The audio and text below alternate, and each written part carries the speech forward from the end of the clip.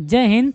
पिछली क्लास की वीडियो हमने आपको वर्गमूल से संबंधित आपको बेसिक निकालना बताए थे। आज की वीडियो में हम बताएँगे कि कैसे आपको भिन्न का वर्गमूल ज्ञात करना और कैसे आपको दशमलव का वर्गमूल ज्ञात करना है। तो चलिए स्टार्ट करते हैं। देखिए, आज स्टार्ट करते हैं भिन्न का वर्गमूल। भिन्न का वर्गमूल। ठीक? भिन्न का वर्गमूल ज्ञात करने के लिए आपको थोड़ी से कुछ बेसिक को जानना पड़ेगा। बस खाली छोटा सा देख लेंगे। जैसे मान के चलिए, अगर हम लिख दें, यदि ए तथा बी दो पूर्ण संख्याएँ हैं ठीक? आपको भिन्न का वर्गमूल ज्ञात करना है। पिछली वीडियो में जब देखेंगे तो आपको बेसिक से गुणनखंड भी द्वारा, भाग भी द्वारा वर्गमूल ज्ञात किए थे। आज हम भिन्न का वर्गमूल और इसी के साथ फिर दशमलव का भी वर्गमूल निकालना बताएँगे। तो पहले भिन्न का कंप्लीट करते हैं। तो भिन्न की वर्गमूल में पहले एक थोड़ा सा नियम देख लेंगे।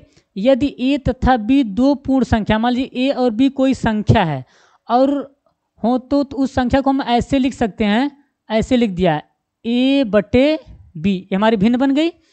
ए बटे बी अब इसको हम लिख सकते हैं अंडर रूट मतलब कर्णी में ए बटे कर्णी में बी ठीक? तो आप इतना जानिए यदि ए बी दो संख्या पूर्ण संख्या है तो अगर हमने करणी में इसको वर्गमूल ज्ञात करना है तो जैसे हमने इसको करणी लगाया तो समझ जाइए इसका वर्गमूल ज्ञात करना है तो इसमें भिन्न लग गया बटा लग गया। तो अब हम इसको ऐसे लिख सकते हैं कर्णी में ए बटे कर्णी में बी। तो अब इसका अर्थात कहने का मतलब इसको क्या बोलेंगे? अंश का वर्गमूल। किसका? अंश का वर्गमूल। बटे हर का वर्गमूल। हर का वर्गमूल। ठीक? अंश का वर्गमूल बटे हर का वर्गमूल आपको निकालना है। तो अब एक थे, इसके लिए हम एग्ज़ाम्पल लेते हैं। तो एग्ज़ाम्पल लेने के लिए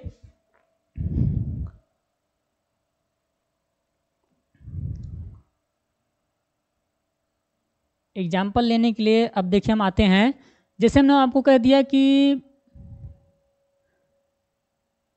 सोलह बटे पच्चीस का वर्गमूल ज्ञात करो। ठीक? एक क्वेश्चन ले लिया। सोलह बटे पच्चीस का वर्गमूल ज्ञात करना है तो इसको आप पहले ऐसे लिखेंगे। करड़ी में सोलह बटे पच्चीस।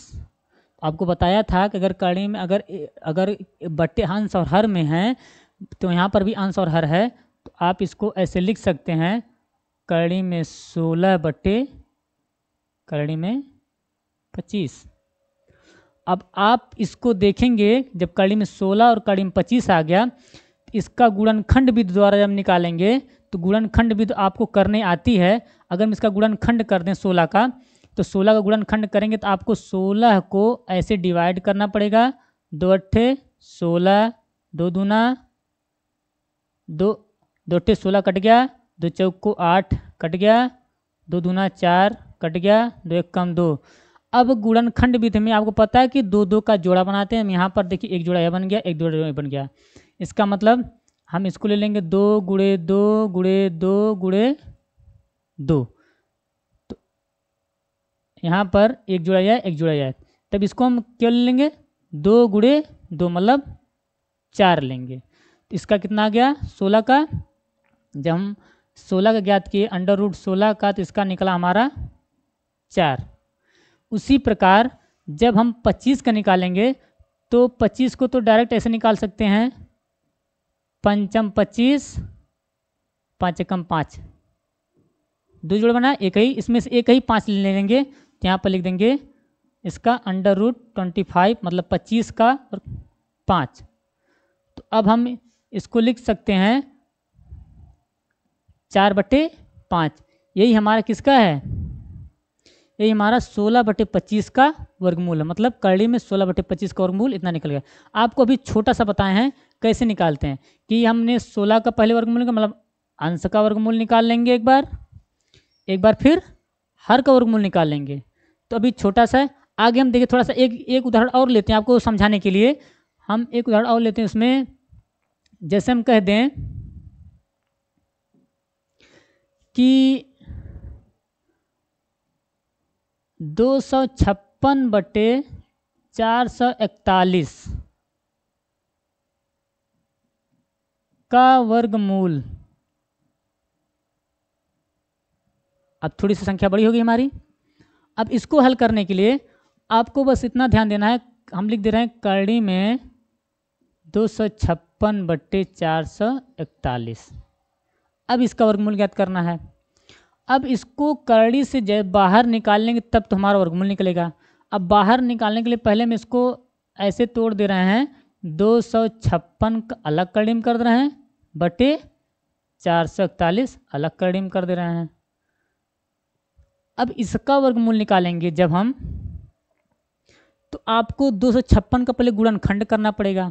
दो सौ छप्पन का गुणनखंड, अब यहाँ हम करके दिखा दे रहे हैं, दो सौ छप्पन ऐसे लाइनिंग खींच देंगे। अब यहाँ से सबसे छोटी संख्या से काटना स्टार्ट करेंगे। तो हम स्टार्ट करें दो दो एक कम दो दो दूना चार और दो अट्ठे सोलह। कट गया? दो फिर काटिए, दो छक बारह, दो चौक आठ। दो काटिए, दो तिहाई छः दो दूना चार मतलब बत्तीस दूना चौंसठ हो गया। यहाँ पर सोलह, दो अट्ठे सोलह दो दूना, दो चौको, आठ, दो दूना, चार कम दो। अब इसमें से दो दो का जोड़ा बनाएँगे और उसमें से एक एक ले लेंगे। जैसे एक यह हो गया, यह हो गया, यह हो गया और यह हो गया। मतलब कि दो दो दो दो, चार बार। एक, दो, तीन, चार। तो हम लिख सकते हैं, कड़ी में दो सौ छप्पन को दो गुड़े दो गुड़े दो गुड़े दो। ठीक? एक, दो, तीन, चार। एक, दो, तीन, चार। तो हो जाए कितना? दो दुना चार दुना आठ दुना सोलह। हो गया? अब हमारा अगला कौन सा है? अगला है चार सौ इकतालीस। इसको निकालने के लिए हम यहीं पर हल कर दे रहे हैं। जान लीजिए, एकदम बेसिक से है जो जिनको थोड़ा बहुत भी नहीं आता तो वो खाली बस इस वीडियो को देख लेंगे तो उनको पूरा बेसिक से हल करना आ जाएगा। तो हम यहाँ पर निकाल रहे हैं चार सौ इकतालीस को। अब चार सौ इकतालीस को काटने के लिए अब देखिए यहाँ पर दो से काटेंगे तो ये हमारी विषम संख्या थी इसलिए हम कैसे काट रहे हैं? तीन से काट रहे हैं। तीन एक कम, तीन, कितना आएगा? यहाँ पर फिर चार सात। तीन कम तीन हो गया, एक बज गया, चौदह हो गया, और चार तीन बारह, एक यहाँ पर तेरह चौदह, दो हो गया, इक्कीस हो गया सत्रह का इक्कीस। अब यहाँ पर फिर तीन से काटेंगे। फिर तीन चौक को बारह दो तीन चौक को बारह किया, तेरह चौदह, दो हासिल हो गया, यहाँ पर सत्ताईस तीन नवा सत्ताईस। अब उनचास है तो आपको वर्ग निकालने आता है, उनचास किसका वर्ग है? सात का। तो जब सात का वर्ग हो गया तो हम डायरेक्ट ही सात कर रहे हैं, सात सत्य उनचास, फिर सात से कट गया, एक आ गया एक जोड़ा यह बन गया, एक जोड़ा यह बन गया। तो हम लिख सकते हैं इसको तीन गुड़े तीन गुड़े सात गुड़े सात। एक एक ही है तो तीन गुड़े सात लेंगे तो सात का इक्कीस हमारा हो जाएगा। तो हम इस तरह इसको ले लेंगे। कड़ी में एक सौ इकतालीस को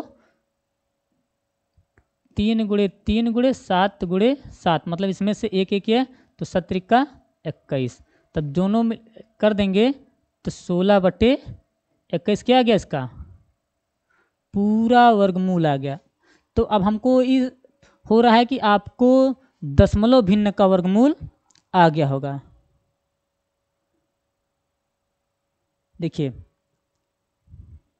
किस विधि द्वारा दशमलव भिन्न का वर्गमूल गुणनखंड विधि द्वारा आपको आ गया। ये कौन सी विधि थी? गुणनखंड विधि। भाग विधि द्वारा बताए हैं, अब आगे हम आपको स्टार्ट करते हैं। आगे हम आपको स्टार्ट करते हैं।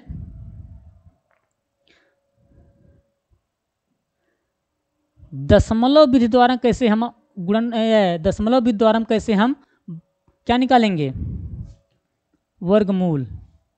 दशमलव विधि द्वारा नहीं, दशमलव की संख्या को हम कैसे वर्गमूल ज्ञात करें? जैसे अब अगला मॉडल बता रहे हैं, एक हमारा हो गया आपका भिन्न विधि द्वारा अब निकालना है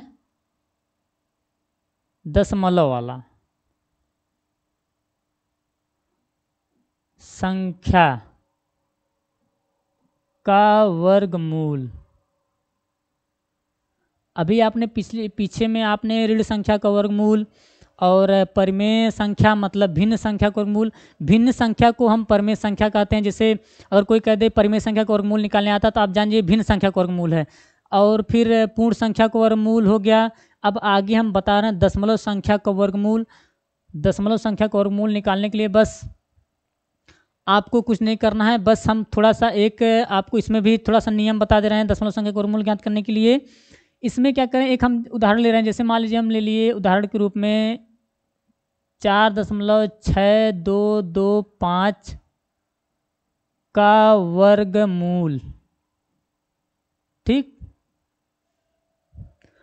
अब चार दशमलव दो दो, चार दशमलव छः दो दो पाँच का वर्गमूल ज्ञात करना है आपको बस हम इतना कर सकते हैं इसको अंडर रूट में कर दीजिए चार दशमलव छः दो दो पाँच। हो गया?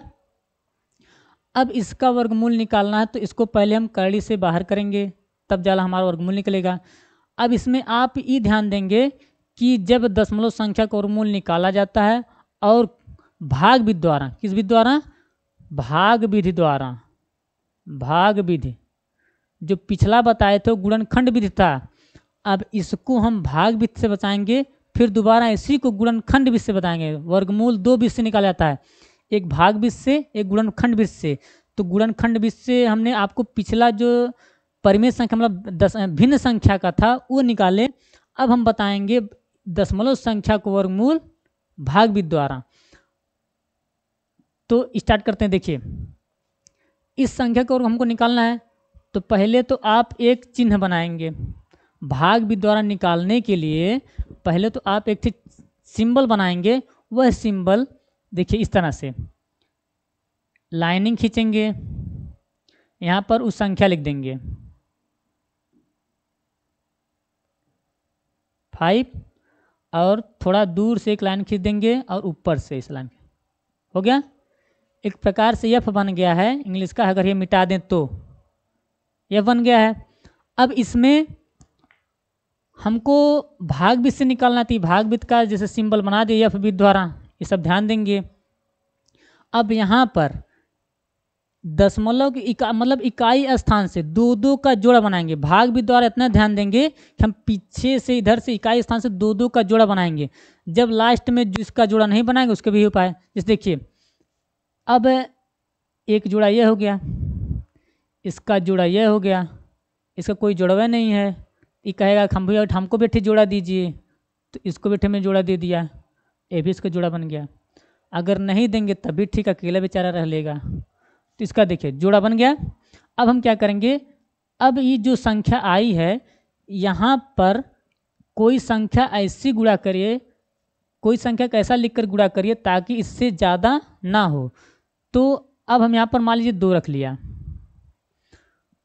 दो का गुणा अगर हम दो में करेंगे, यहाँ पर दो नहीं लिखेंगे, अगर हम दो का गुणा दो में करेंगे, कितना आया? चार आया। ज़ीरो से मतलब नहीं, ज़ीरो के बाद चार है तो उसको चार है माना जाएगा। अगर ज़ीरो ज़ीरो फोर है तो इसको चार है मानेंगे, ठीक? तो अब यहाँ पर हम इसको घटाएँगे। क्या करेंगे घटाएँगे। घटाने के लिए हमको इस लाइन को जो लाइन दिया है, एक तरफ़ घटा रहे हैं तो बैलेंस हमको बराबर करना है तो एक तरफ़ जोड़ देंगे। तो कुल मिलाकर के आप कुछ नहीं करना है। तो अगर यहाँ पर घटाएँगे तो यहाँ पर दो का गुणा अगर दो में करेंगे मतलब दो गुड़े दो मतलब तब यहाँ पर चार आएगा। तो दो गुड़े जो जिससे गुड़वा कर रहे हैं, उसी को यहाँ पर लिख देंगे। तो अब इसको हमने जोड़ दिया। यहाँ घटा रहे हैं तो यहाँ पर जोड़ देंगे। ये सब बताई नहीं जाती हैं। कहानी मतलब ये आपको पता होना चाहिए क्योंकि एक तरफ़ माइनस हो रहा है एक तरफ़ प्लस ज़रूर होगा। तो इसलिए आप यहाँ पर उतारेंगे क्या? जिसका गुड़ा करेंगे, उसी को ऊपर लिखेंगे। तो हम यहाँ पर लिख दिया दो दो का चार हो गया। अब इसको घटा देंगे तो कट गया, ज़ीरो हो गया। अब ई खाली थोड़ा सा ध्यान देंगे कि जब दशमलव आ जाती है तो दशमलव को हम डायरेक्ट आंसर में लिख देते हैं, डायरेक्ट। अब यहाँ पर कौन आ गया? दशमलव दिख रहा है, थोड़ा बड़ा कर दे रहा है। ठीक? अब इस दशमलव को डायरेक्ट आंसर में से लिख देंगे। ठीक? जब लिख दिया अगला हम अब अगला जोड़ा उतारेंगे। एक एक्के को नहीं बुलाएँगे। अक्के को बुलाएँगे दूसर का कहाँ जाएगा? जब जोड़ा हो गया है तो। जोड़ा मतलब आप जानते हैं जोड़ा। ठीक, हर चीज़ का जोड़ा बनता है। तो यहाँ पर हम किसका उतार दिए? Sixty two. मतलब कि बासठ जुड़वा इकट्ठा उतारेंगे। अब आगे आपको अपने मन से यहाँ पर एक ऐसी संख्या रखना है ताकि बासठ से ऊपर ना जाए। तो आप अब सोचिए कि यहाँ पर हम कौन सी संख्या रखें कि बासठ से ऊपर ना जाए। तो आप सोचेंगे, अगर हमने यहाँ पर ज़ीरो रख दिया तो चालीस का गुड़ा ज़ीरो, अगर मान, देखिए, अगर हमें रफ कर रहे हैं, मान लीजिए, यहाँ पर चालीस, यहाँ पर हमने चार था, ऐसे, यहाँ पर हमें ज़ीरो रख दिया तो हमको ज़ीरो से गुड़ा करना पड़ेगा। तो चालीस शून्य मतलब चालीस का गुड़ा ज़ीरो में करेंगे तो ज़ीरो जाएगा फिर इसमें तो चालीस ही आएगा तो फिर तब भी देख रहे हैं। अगर हमने यहाँ पर इकतालीस कर दिया तब एक से गुड़ा करना पड़ेगा। तो यहाँ पर एक एक, एक कम एक चार एक कम चार इकतालीस आया। फिर अगर हमने यहाँ पर कर दिया दो से गुड़ा तो यहाँ पर दो से करना पड़ेगा। चार दूनी आठ कितना होगा? यहाँ पर दो दूना चार करना पड़ेगा और चार दूनी आठ करना पड़ेगा। बासठ से ज़्यादा हो गया। तो आप अब सोचेंगे कि अब यहाँ पर रखें कितना?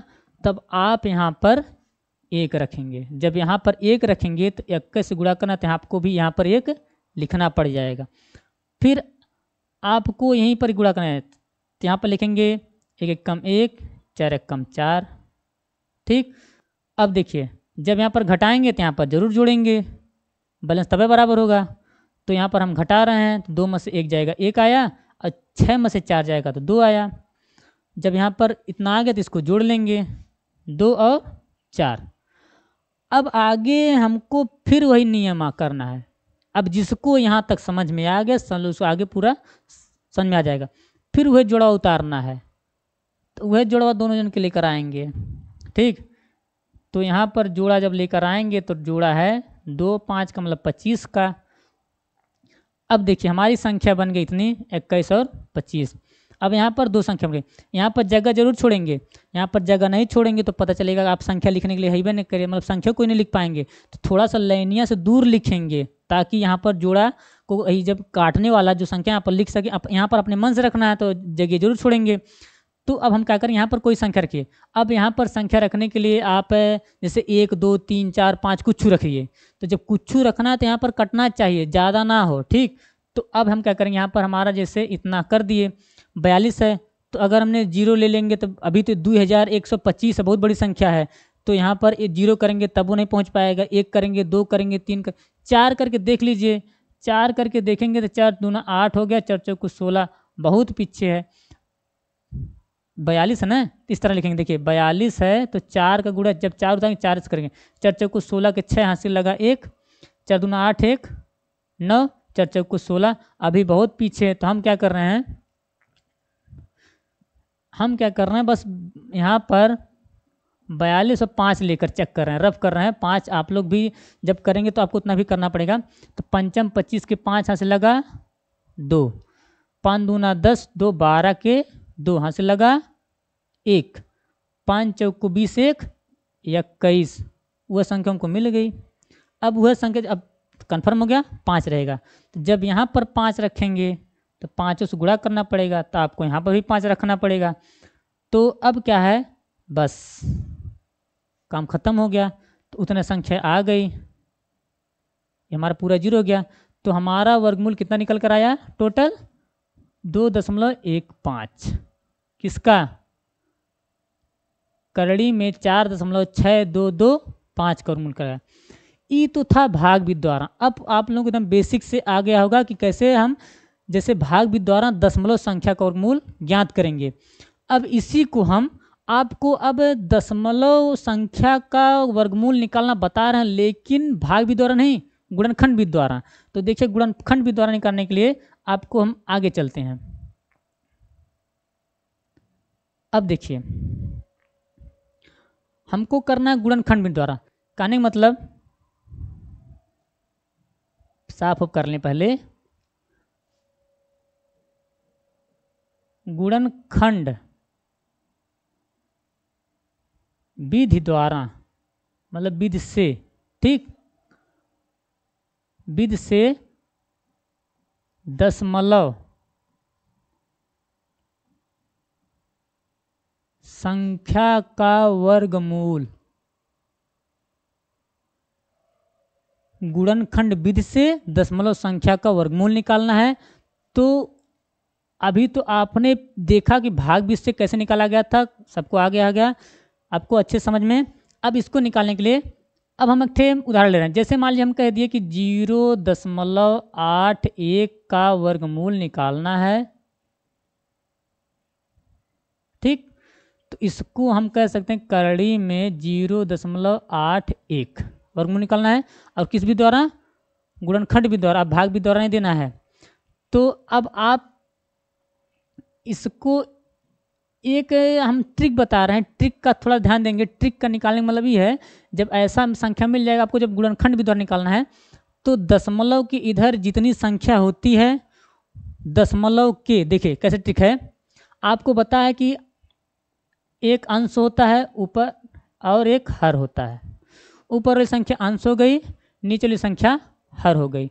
तो इसको हम अंश और हरे के रूप में बांटेंगे तो कैसे बांटेंगे? कौन संख्या रहा, आपको अंश रूप में बांटना तो बता रहे हैं कैसे बांटना है। बस कुछ नहीं करना है। अंश बांटना जितना दशमलव के इधर संख्या रहे, ज़ीरो को छोड़ दीजिएगा। अब इक्यासीत इसको ऊपर ऐसे लिख दीजिएगा। हो गया? बट्टे कर दीजिएगा। दशमलव के बाद जितना संख्या है, एक लिख कर उतना ज़ीरो बढ़ा दीजिएगा। बस, खाली दशमलव के बाद जैसे यहाँ पर एक लिख दीजिएगा, दशमलव के बाद क्या संख्या है? दो। तो उतना ज़ीरो बढ़ा देंगे। बस, ये भिन्न में बदल गया।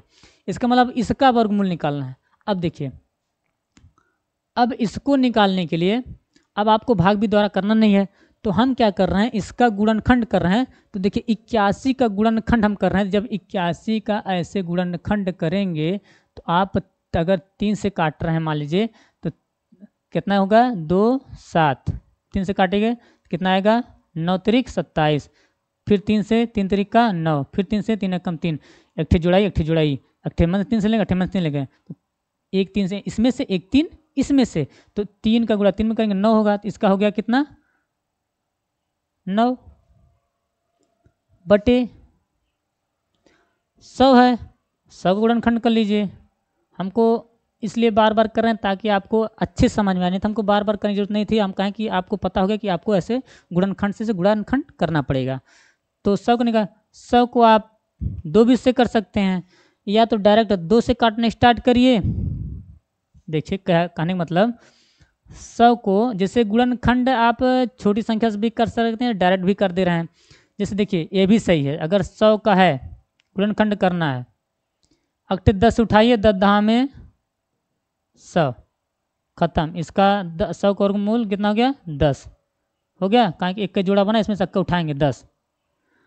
और अगर इस तरह करें थोड़ा सा आराम आराम से तो दो से काटेंगे तो पचास आएगा। कहाँ कि सौ का आधा पचास होता है, फिर दो से काटेंगे तो पच्चीस होगा।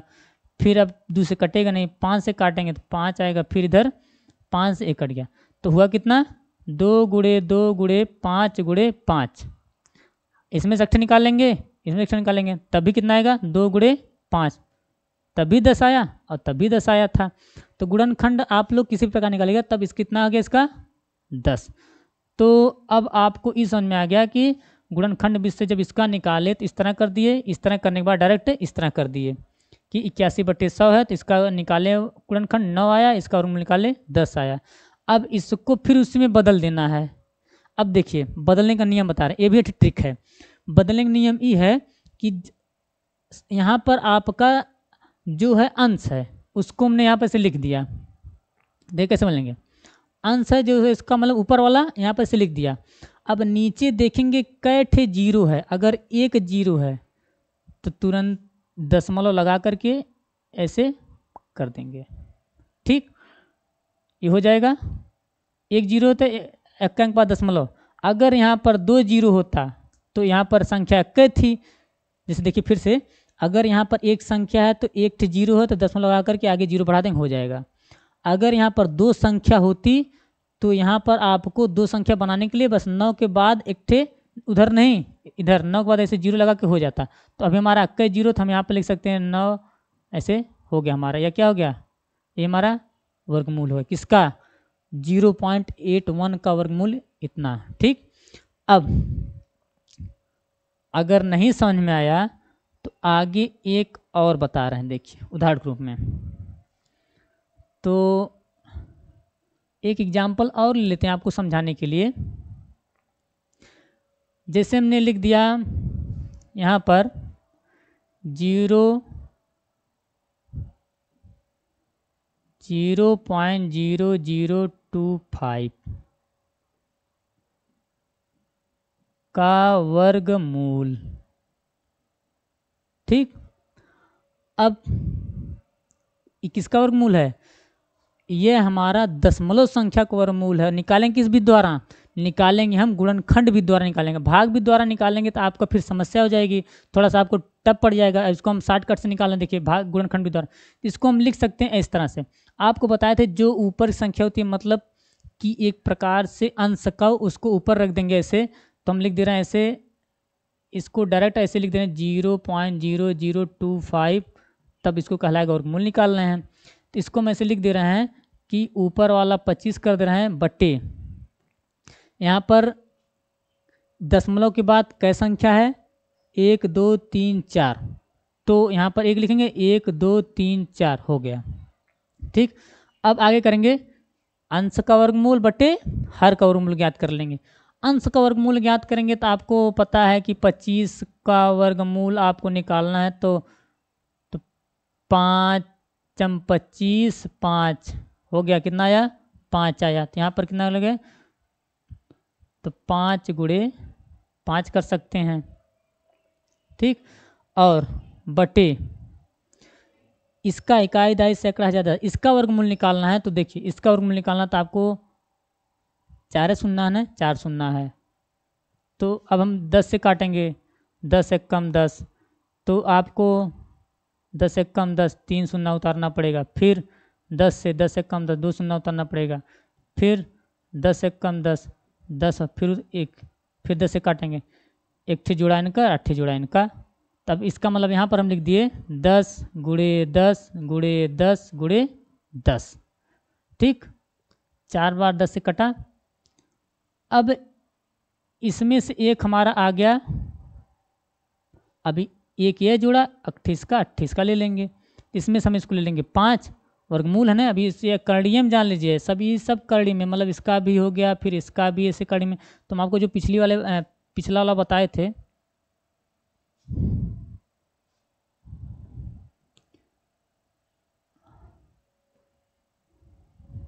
देखिए, पिछला जो बताए थे, इसमें पाँच, इसका वर्गमूल इसका वर्गमूल हो गया पाँच, इसका दस गुड़े दस, सौ। अब इसमें क्या करेंगे? आपको जो भी बताए थे कि ये संख्या हम इस पर लिख दे रहे हैं, पाँच। अब यहाँ पर दो शून्य हो गया तो यहाँ पर संख्या एक है। तो अब आपको इसमें दो स्थान तक बनाने के लिए एक से ज़ीरो और बढ़ाएँगे। बढ़ गया? अब दो, ये दो बराबर, इसका भी बराबर हो गया दसमलव लगा कर ठीक ज़ीरो बढ़ा देंगे। इसका क्या हो गया? वर्गमूल ज्ञात हो गया। ठीक? आप लोग समझ में आ गया? कहने का मतलब अब देख लेंगे कि कैसे हम आपको आज किस भी द्वारा ठीक है शुरू से देखिए, कहने मतलब आपको कैसे हम भिन्न का वर्गमूल जो बताए, कैसे भिन्न का वर्गमूल निकालेंगे, वो भी किस विधि द्वारा, भिन्न का वर्गमूल हमने बताया आपको गुणनखंड विधि द्वारा, फिर भाग विधि द्वारा। अब दशमलव का वर्गमूल हमने निकालना बताया। तो किस भी द्वारा? भाग विधि द्वारा, फिर एक गुणनखंड भी द्वारा। तो आप लोगों को समझ में आ गया होगा। तो मिलते हैं अगली क्लास में। जय हिंद।